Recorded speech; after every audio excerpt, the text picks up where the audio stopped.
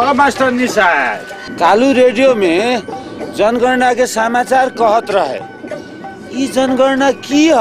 हमने का अगिल का जेठ अषाढ़ महीना से नेपाल के ग्यारह जनगणना शुरू हो रहा बा।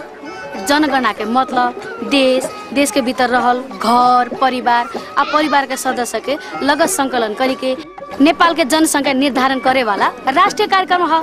ई जनगणना से हमनी सबके का फायदा होई? जनगणना से पिए वाला पानी स्कूल अस्पताल सड़क आ बिजली बत्ती के सुविधा न भइल ठाउँ में ऊ कार्यक्रम संचालन करे खातिर तथ्याङ्क मिलेला। एकरा से निकले वाला तथ्याङ्क के आधार पर विकास निर्माण कार्यक्रम आयोजना बने चलते हमरा सबके फायदा होई। ना कोई छुट्टी ना कोई दोहरी। अक्सर बसोबास करत जगह से ही अपना विवरण लिखाई केन्द्रीय तथ्याङ्क विभाग।